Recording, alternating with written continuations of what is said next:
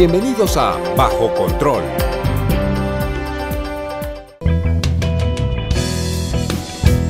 En Hablando Claro. Bienvenidos a Bajo Control, el programa institucional de la Contraloría General de la República. Y estamos hoy con uno de los colombianos más, más queridos. Está en medios de comunicación más concretamente, es presentador de noticias del canal RCN Televisión y los colombianos lo siguen por la manera como denuncia las injusticias contra los ciudadanos. Ya ustedes saben, estoy hablando de Felipe Arias. Felipe, es un honor para mí que lo pueda entrevistar. Juan Guillermo, ni más faltaba, es un honor para mí estar aquí en este programa contigo y pues un saludo muy grande a todos los colombianos. Usted hace un periodismo de denuncia y ese periodismo de denuncia se queda ahí en la denuncia o tiene un seguimiento. Juan Guillermo, nuestro segmento informativo dentro de las diferentes emisiones del noticiero de Noticias RCN es denuncia como tal hecha por los reporteros ciudadanos, por la gente del común. Autoridad que se compromete con el caso y seguimiento a la denuncia. O sea, consiste en tres partes, denuncia, autoridad con el compromiso y seguimiento. Y somos muy rigurosos en, comprobar que este caso sí ha sido resuelto. Y si sirve una veeduría ciudadana para que no haya corrupción, para que eh, las denuncias que usted hace tengan un final feliz. Juan Guillermo, sirve en el sentido en que nosotros como medios de control ejercemos eh, cierta presión sobre las personas, sobre las autoridades, para que resuelvan y solucionen los casos. Servimos de puente entre la ciudadanía o entre los veedores ciudadanos, llamémoslo así, que son los reporteros ciudadanos, y las autoridades. En muchos casos ni siquiera tenemos que sacar, Juan Guillermo, la, las denuncias al aire porque son resueltas antes de que les enviemos las cámaras o antes de que pongamos en conocimiento de la opinión pública esas denuncias. ¿Cómo evitar la falsa denuncia?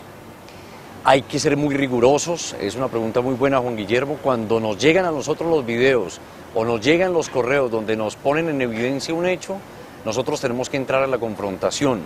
Seríamos muy ligeros y muy irresponsables si sacamos las denuncias sin comprobarlas. Entonces nosotros mismos hacemos un seguimiento en video, en audio, comprobamos que lo que se está denunciando sí es realmente cierto y entramos a decirle a las autoridades que nos colaboren para poder arreglar esa situación. Felipe Arias, el periodismo en Colombia se vive como una pasión, es una profesión, valga la redundancia, apasionante, pero con compromiso.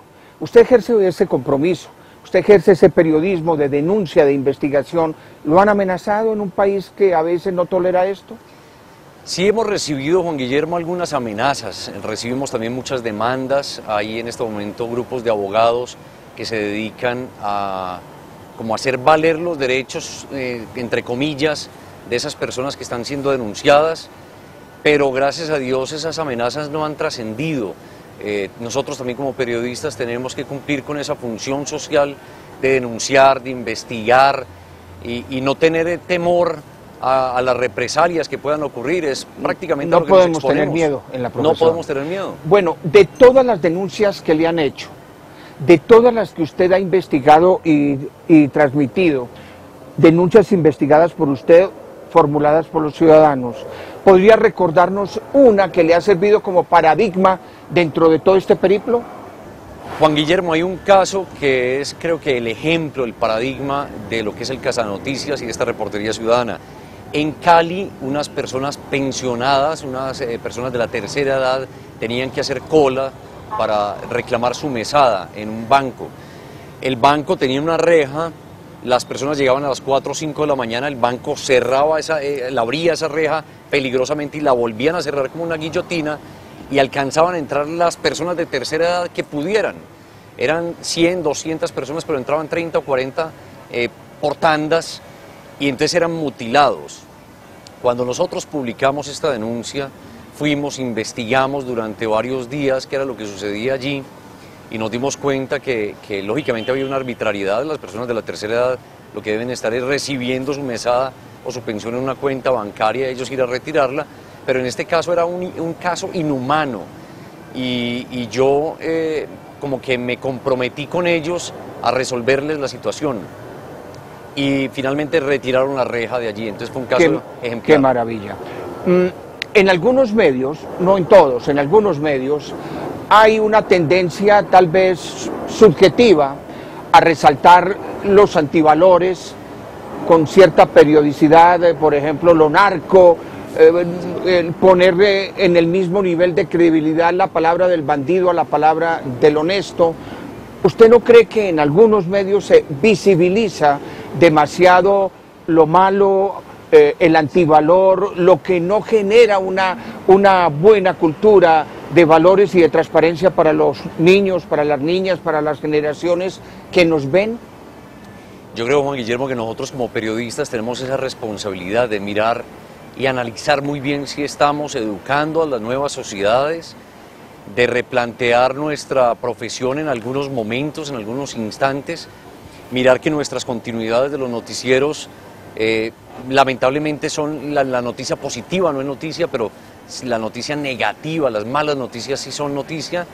Tenemos que replantear un poco eso, sopesar más sin tapar la realidad, tener muy en cuenta también que las noticias positivas hay que difundirlas en una gran medida y, no prestarle el juego ni a los violentos, ni a los corruptos, ni a los narcos, ni a lo malo, ni los antivalores, sino por el contrario mostrar más valores para que también estos se crezcan y se incentiven más. Claro.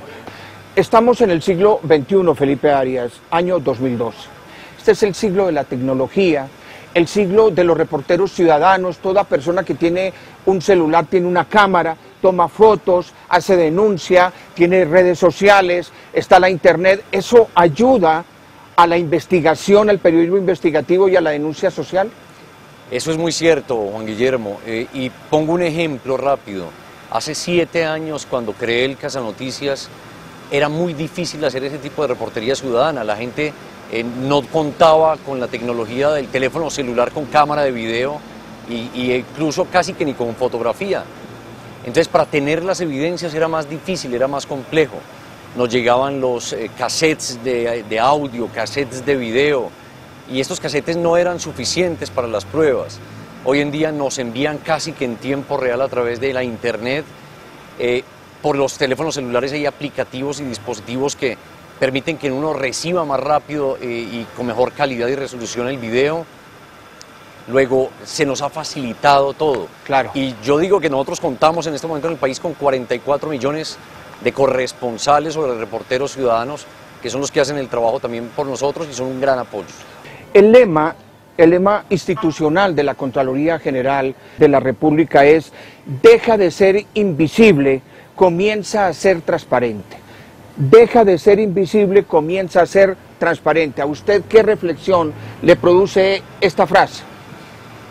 Es muy fuerte, es muy fuerte y es verdad lo que debemos poner en práctica en realidad. Nosotros deberíamos empezar por la casa, por el hogar, eh, decirle a los niños, miren, no digas mentiras, mostrarle a ellos con ejemplos que ser transparente, que decir la verdad es mucho más meritorio, es más bonito y de verdad que eso vale la pena hacerlo. En la calle, con las infracciones de tránsito, dejar de cometerlas, dar el paso, ser solidario, ayudar. Yo creo que nosotros tenemos que ser consecuentes con la sociedad en que vivimos. Estamos atravesando un buen momento en este momento en el país, pero lo que debemos hacer realmente es empezar a poner en práctica desde los mismos hogares la transparencia y la honestidad. Así construimos una mejor sociedad. Vámonos a otros mensajes institucionales y volvemos con Hablando Claro en el programa institucional de la Contraloría General de la República.